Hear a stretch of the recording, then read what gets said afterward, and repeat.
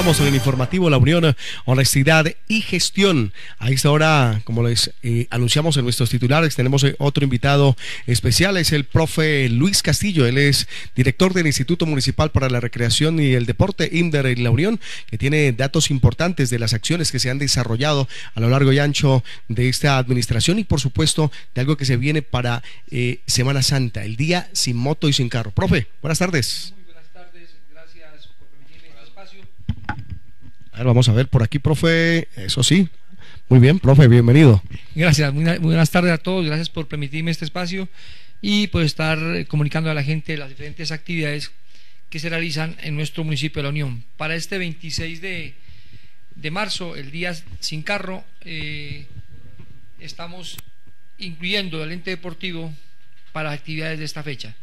Hay atletismo, ciclopaseo o ciclovía, eh, aeróbicos, gincana, baloncesto, micro y fútbol. Durante todo el día vamos a estar realizando estas actividades, incluyendo a los diferentes eh, empleados de nuestra entidad. Qué bueno, se había desarrollado el 28 de diciembre y con el doctor eh, Francisco Córdoba de la Secretaría de Gobierno eh, se había quedado nuevamente con el Instituto Municipal del Deporte y otras entidades articuladas realizar este día sin moto y sin carro.